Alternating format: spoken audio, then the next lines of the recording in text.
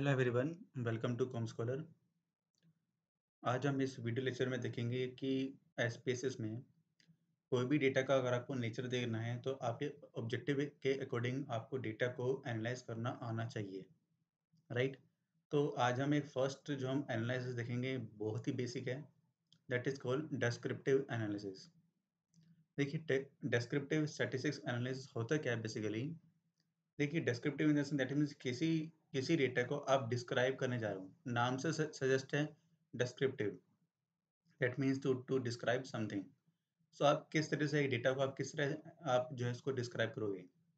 तो आज हम उसकी बात करेंगे यानी कि पूरा डेटा जो भी अवेलेबल है ठीक है? तो जैसे कि आ, मैं वही डेटा अभी मैं वही यूज़ कर रहा हूँ जो अब तक मैंने लास्ट प्रीवियस वीडियो लेक्चर में यूज़ किया था। That means to know about the perception and the behaviour of the investors towards mutual fund during covid nineteen यानी कि मैं ओवरऑल जो मैं इफ़ेक्ट देखना चाहता हूँ कि, कि क्या कोविड नाइन्टीन होने से के बाद जो पेंडेमिक आया उससे क्या इन्वेस्टर्स के जो परसेप्शन है या बिहेवियर उसमें कुछ चेंज हुआ या नहीं हुआ वो मैं देखना चाह रहा हूँ। तो जैसे मान लीजिए एक मैंने रेस्पॉन्ड से क्वेश्चन पूछा था that is related to effect of covid nineteen तो मैंने चार स्टेटमेंट पूछी थी। First one is that is adversely effect on expected return due to covid nineteen तो क्या वो उनसे स्ट्रॉन्गली डिसअग्री करते हैं डिसअग्री करते हैं न्यूट्रल हैं अग्रीड हैं या स्ट्रॉन्गली अग्रीड है? ये उनको उस पर जिस पे टिक करना होगा। देन इधर they shifted to more conservative funds due to covid nineteen covid nineteen हुआ तो उससे जो मार्केट ओबियसली काफ़ी हेम्पर हुआ था तो हो सकता है कि कुछ लोग ने यहाँ पर जो है, इससे नेगेटिव इफ़ेक्ट हो गए तो वो जो है मोर जो लेस रिस्की जो फंड्स हैं, वो उसमें शिफ्ट हो गए हों। Then saving habits negative affected obviously mutual funds जो है, एक सेविंग हैबिट को बढ़ाता है बट जब मार्केट नेगेटिवली रिएक्ट करता है तो वो उसका नेगेटिवली इफ़ेक्ट भी करता है। तो क्या वो उससे अग्री करते हैं डिसएग्री करते हैं, ये उसके अकॉर्डिंग स्टेटमेंट है। Then covid nineteen affected on future savings क्या इफ़ेक्ट करेगा या नहीं करेगा? तो क्या उससे रिस्पॉन्डेंट्स उससे अग्री कर रहे हैं डिसएग्री कर रहे हैं, उसके अकॉर्डिंग है। तो ये ओवरऑल इफ़ेक्ट बता रहा है। तो उनको बताना है कि क्या ओवरऑल उनकी सेविंग्स या उनका रिटर्न क्या उस पर जो है ओवरऑल उनकी म्यूचुअल फंड सेविंग्स पे अफेक्ट हुआ है या नहीं हुआ? तो यहाँ पर जो रेटिंग थी, यानी कि जो आपका लाइकट स्केल पे था आपका that means one two five one था आपका that is rated to one in respect of strongly disagree, 2 for disagree, 3 for neutral, 4 for agree. And 5 for strongly agree. तो उससे के अकॉर्डिंग था? तो हमारा जो डेटा था देखिए यहाँ पर आपका ये डेटा है एंड ये आपकी वेरिएबल्स हैं।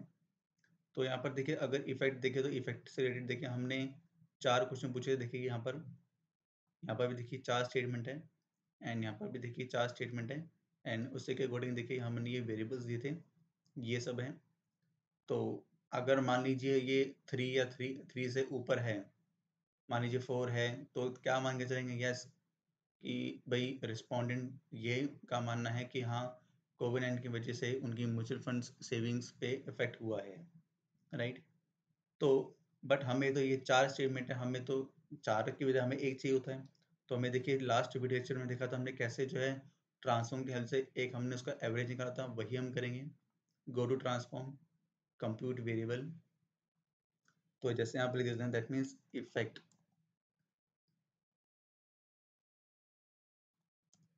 effect covid बस ये लिख देते हैं। सेम वैसे ही करेंगे जैसे हमने लास्ट में लास्ट लेक्चर में किया था। Just copy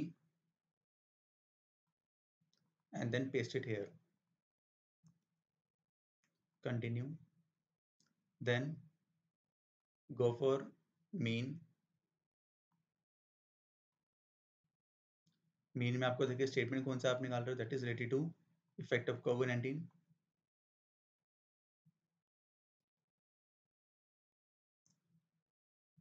second one put comma third one and the fourth one that's it now simply press okay अब देखिए, आपका एक और वेरिएबल यहाँ पर आपका क्रिएट हो गया होगा। देखिए इफ़ेक्ट कोवेंट ठीक है ना? ये हो गया आपका। आप यहाँ पर इसको डेटा व्यू में देख सकते हो। दीज आर ऑल स्टेटमेंट्स तो ये उनका एक एवरेज आ गया। अब हमें देखना है कि ओवरऑल जो है इसका descriptive statistics कैसे एनालाइज करेंगे। So go to analysis descriptive statistics, second option, descriptives variables हम जाना चाह रहे हैं दैट इज़ रिलेटेड टू इफ़ेक्ट ओवरऑल इफ़ेक्ट देखना चाह रहे हैं क्या है इसका, क्या नहीं देन ऑप्शंस हम देखना चाह रहे हैं, सब कुछ हम जाना चाह रहे हैं वेरिएंस भी रेंज भी सेनेडरन भी कटोसिस भी स्क्यूनेस भी everything right and then simply press okay just a minute sorry not ये एक्सप्लोर होगा सॉरी एक्सप्लोर होगा explore so dependent variable is that is related to effect of covid nineteen ठीक है फैक्टर यानी कि आप जो है इसको मेजर किस तरह करना चाह रहे हो इनका बिहेवियर परसेप्शन जो इफ़ेक्ट है वो किसके अकॉर्डिंग करना चाह रहे हो सपोज़ बाय जेंडर करना चाह रहे हैं So ye acquire that is on factor list. Go to statistics. That means what kind of statistics you want to measure. So descriptive overall, descriptive हो गया at 95 परसेंट आपका जो आपका इंटरवल हो गया. Then plots plots stemly अभी हम नहीं करते histogram ले लेते हैं and and uh, all this uh, we will take in the next lecture. तो अभी हम एक छोटा सा आपको हम एनालाइज करके दिखा रहे हैं एक्सप्लोर ऑप्शन में देखिए क्या होता है आपका ये ये देखो क्या है तीन ऑप्शन गिवन आपको एक्सक्लूड केसेस लिस्ट वाइज देखिए ये बेसिकली ये लिस्ट ऑप्शन किसके लिए होता है बेसिकली मान लीजिए अगर आपका कोई डेटा है, उसमें कोई वैल्यूज़ अगर मिसिंग है so always go for second one अगर आपकी कोई कोई भी डेटा में कोई वैल्यूज़ मिसिंग नहीं है so always go goes for first one ठीक है? तो हमारे डेटा कोई मिसिंग नहीं है so just continue and yes ना सिंपली प्रेस ओके ये रहा आपका सिंपली ओवरऑल डिस्क्रिप्टिव स्टैटिस्टिक्स देखिए जेंडर वाइज किया हमने। इफ़ेक्टिव कोविड मेल 49 फीमेल 44 ठीक है? इसके बाद आपका है, ये ओवरऑल केसेस दिखा रहे हैं आपका देन अच्छा आप बोल रहे हो कि मिसिंग क्यों हुआ? देखिए मिसिंग इन द सेंस ये वो नहीं है। मिसिंग वो है, आपको याद होगा जो मेरा डेटा था, इसमें कुछ वो भी डेटा है जैसे देखिए मैंने आपको क्वेश्चन पूछा था that do you want to invest in mutual do you invest in mutual fund और नॉट सो ये, यहाँ पर देखिए डेटा कुछ है मतलब कुछ है, कुछ नहीं है मिसिंग है। अच्छा फिर एक काम कर सकते हैं हम यहाँ पर कि ओवरऑल हम डेटा जो एनालाइज करते हैं, वो सपोज़ हम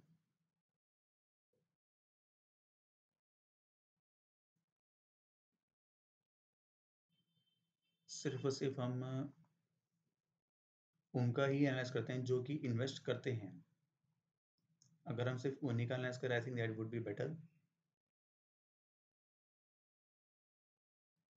go to analyze descriptive statistics, explore. Everything would be same and the simple press okay again yes, अब देखिए यहाँ पर अभी ज़ीरो हो गया ना कोई डेटा हमारा मिसिंग नहीं है। ठीक है? सो अब देखिए इसको डिस्क्रिप्टिव स्टेटस को अब रीड कैसे कर सकते हैं? तो जेंडर वाइज देखिए मेल पहले मेल पढ़ रहे हैं। तो मेल का देखिए मीन इफ़ेक्ट ओवरऑल इफ़ेक्ट कितना देखिए कितना दिखा रहा है? Two point eight zero six one देखिए वन क्या था आपका? That is strongly disagreed then two आपका था डिसअग्री थ्री क्या था आपका? न्यूट्रल सो स्ट्रॉन्गली डिसअग्री और न्यूट्रल ये बिल्कुल दोनों के बीच में है। ठीक है? तो ये मीन है then 95 95 percent confidence level interval that means lower bound and upper bound की वैल्यू दी है आपको this one and this one देखिए वैसे होता क्या है ये 95 परसेंट कॉन्फिडेंस लेवल होता है दैट मीन्स ओवरऑल आपको मीन की वैल्यू दिखाते हैं। जैसे कि let me take you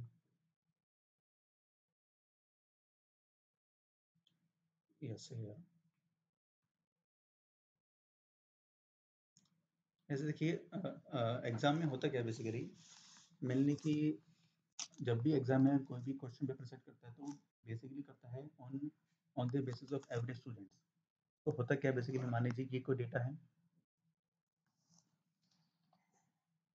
इसको बोलते हैं नॉर्मल डिस्ट्रीब्यूशन ठीक है? नॉर्मल डिस्ट्रीब्यूशन क्या होता है बेसिकली आपका mean is equals to mode is equals to median when three of them are equal, then we will say that it is a normal distribution.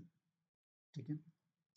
तो अगर ये इक्वल नहीं हो तो क्या रहेगा ये? नॉर्मल डिस्ट्रीब्यूशन नहीं होगा तो उसका बोलेंगे हम स्क्यूड डिस्ट्रीब्यूशन ठीक है? तो यहाँ पर क्या होता है? देखिए, जब डेटा अगर नॉर्मल डिस्ट्रीब्यूशन है that means where mean mode median are both are three of them are equal so then उसको हम क्या बोलेंगे? That is called normal distribution ठीक है? तो यहाँ पर क्या होता है? नाइन्टी फाइव परसेंट का मतलब क्या होता है? जैसे यहाँ पर हम इस ये जो सारा डेटा ना ये नाइन्टी फाइव परसेंट जो ब्लू वाला है। This one is called basically ninety five percent confidence level यानी कि अगर किसी भी रेस्पोंडेंट का डेटा अगर बिहेवियर अगर यहाँ पर लाइक कर रहा है तो दैट इज़ फाइन अगर वो यहाँ पर लाइक कर रहा है तो उसको हम इग्नोर कर चलेंगे। दैट मीन्स एक तरह से कि वो बियॉन्ड द मेन चला गया। ठीक है? तो जो येलो पर्सन है, उसको बोलेंगे दैट इज़ कहाँ वो टके वो एवरेज के अंदर आ रहा है। ठीक है? जैसे मान लीजिए टेन स्टूडेंट्स हैं ठीक है? अब तक हमने देखा कि मान लीजिए एक स्कूल है, वो डेटा कलेक्ट कर रहा है कि भाई ट्वेल्थ स्टैंडर्ड का अकाउंट्स में जो एवरेज स्टूडेंट के मार्क्स हैं सपोज़ वो आते हैं सपोज़ नाइन्टी फाइव ठीक है? लेकिन एक स्टूडेंट है जिसके मान लीजिए हंड्रेड मार्क्स हैं। Average marks that is ninety five तो वो नाइन्टी फाइव कहाँ पर लाई करेगा? वो यहाँ पर लाई करेगा, ठीक है? बट अगर किसी का हंड्रेड है तो वो कहाँ पर लाई करेगा? वो यहाँ पर लाई करेगा। ऐसे ही मान लीजिए अगर किसी के मान लीजिए ज़ीरो आ गए लेट सपोज़ जैसा एग्ज़ाम्पल ज़ीरो है तो वो कहाँ पर लाई करेगा? वो यहाँ पर लाई करेगा इस इस शेड एरिया में। तो अगर वो 95 परसेंट के अंडर आ रहा है so that is fine right तो ये 95 परसेंट कॉन्फिडेंस इंटर लेवल आपको ये शो करता है। एक तरह से भी कह सकते हो, जैसे मान लीजिए वही से एग्ज़ाम्पल लेते हैं कि भी अब तक जो है ट्वेल्थ स्टैंडर्ड में मार्क्स में नाइन्टी फाइव परसेंट एवरेज आते थे, ठीक है? अगर किसी टीचर से बोलें कि अब आप बताओ नेक्स्ट ईयर में आपका जो है स्टूडेंट की परफॉर्मेंस कैसे रहेगी? मीन्स आप जो बताइए कि बच्चों के मार्क्स कितना आ जाएँगे? तो वो बोलेगा कि ऑन एवरेज सबके 95 मार्क्स आ जाएँगे। तो दैट मीन्स वो 95 परसेंट कॉन्फिडेंस बोल रहा है कि 95 परसेंट श्योरिटी है कि इतने मार्क्स आ जाएँगे। बाकी ऑन एन एवरेज इतना इधर उधर हो सकता है।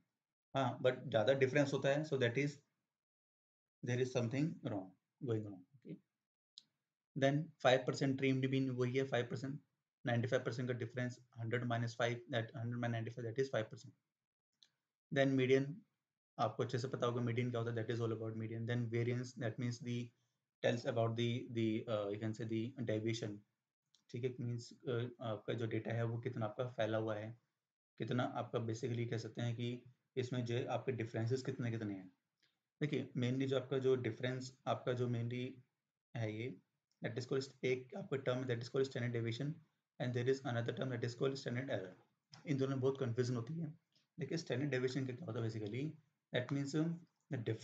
between the uh, actual mean actual uh, uh, actual data and the actual and the mean. जैसे मान लीजिए वैसे मैंने एग्जांपल दिया।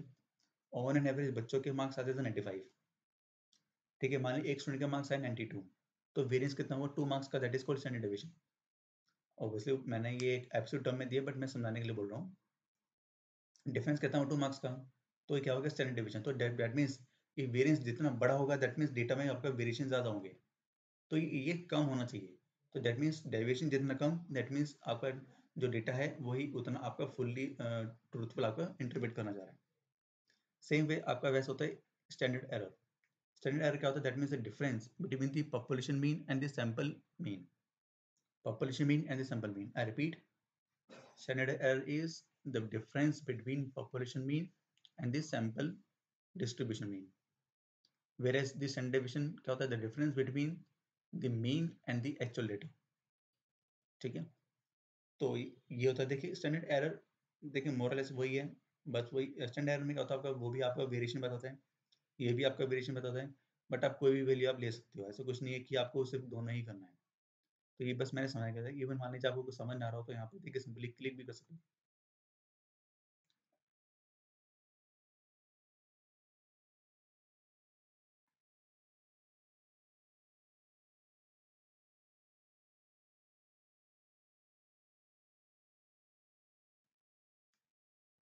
डोंट नो अभी यहाँ पे शो नहीं कर रहा। चलिए, आगे बढ़ते हैं। अब आपका है देखिए मिनिमम देखिए रिस्पॉन्स हमने पूछा था कि आपको जो है टिक करना है फ्रॉम वन टू फाइव ठीक है? तो मेन ने देखिए यहाँ पर मिनिमम कितना मार्क किया है? वन मैक्सिमम कितना है? Four point two five range हो गया उसके according that is three point two five interquartile range का that is Q three minus Q one तो वही दिया that is one point two five skewness देखिए स्क्यूनेस एंड कट इसकी मैंने अलग से वीडियो लेक्चर बनाई हुई है। सो मैं इसका लिंक आपको डिस्क्रिप्शन बॉक्स में दे दूँगा। बस मैं थोड़ा सा बताता हूँ, देखिए स्क्यूनेस क्या बताया that is all about the कि आपका डेटा जो है वो नॉर्मल डिस्ट्रीब्यूशन है या नहीं है। अगर स्क्यूनेस की वैल्यू ज़ीरो है that means data is normal distribution zero है तो। नेगेटिव है तो दैट मीन्स स्क्यूनेस तो है बट कौन सा है? दैट इज़ नेगेटिव स्क्यूड है। यही अगर वैल्यू अगर पॉजिटिव होती तो क्या बोलते हैं उसको? Positive skewed that means normal तो है नहीं, लेकिन ज़ीरो से आसपास होना चाहिए। तो देखिए ज़ीरो के क्लोज है बट क्या नेगेटिव स्क्यूड है? कर्टोसिस आपको बता दें दैट मीन्स द फ्लैटनेस और पीकनेस ऑफ़ द डेटा ठीक है? तो इसका मैं लेक्चर वीडियो जो है मैंने बना हुआ है तो वो मैं यहाँ पर डिस्क्रिप्शन बॉक्स में दूँगा, और वहाँ पर इजीली पढ़ लेना। तो देखिए, अभी तक हमने जो डिस्क्रिप्टिव पढ़ा वो सिर्फ़ मेल के रिगार्डिंग पढ़ा। मेल का देखिए मीन कितना that is two point eight female का देखिए कितना है that is two point eight nine तो देखिए फीमेल का यहाँ पर ज़्यादा है, ठीक है? तो इसका हम क्या क्या कह सकते हैं? अब तक हमें क्या समझा रहा है कि फीमेल यहाँ पर को ये का परसेप्शन ये है कि कोविड नाइन्टीन से उनको ज़्यादा इफ़ेक्ट हुआ है म्यूचुअल फंड इन्वेस्ट करने से। इनका मिनिमम देखिए वन है, मैक्सिमम फाइव है, रेंज फोर है। देखिए एज कंपेयर टू मेल ज़्यादा है, राइट? यहाँ पर आप देखिए ग्राफ भी देख सकते हो।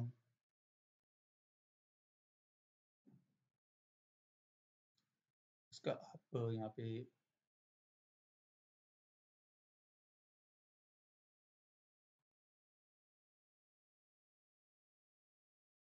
देखिए नॉर्मल डिस्ट्रीब्यूशन है।